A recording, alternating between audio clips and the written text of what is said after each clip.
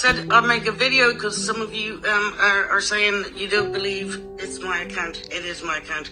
But fret not, I'm going to be a good girl. so what the hell is it talking about? I think we're in HD, right? Which is why I didn't want to make a video. But, uh, you know, the way your kid unfortunately passing away, it isn't good for one's body or soul, to be fair. But anyway, look, that's not dwell on that. Anyway, hi guys. Here's my nice flat. Let me see, can I flip the camera? Oh, well, anyway, there's a bunch of flowers my friend gave me today. Hello and welcome back to my channel. Sinead O'Connor had just moved back to London at the start of July, calling the city her home, and described her hope and excitement at seeing the ballet and writing new songs in the days before she died.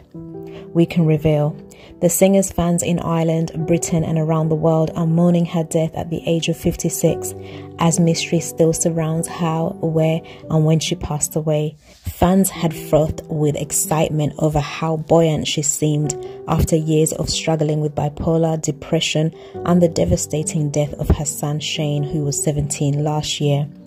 She posted on social media that she had moved back to London and she felt very happy to be home in what was thought to be her final video, which was shot in her new flat on July the 9th.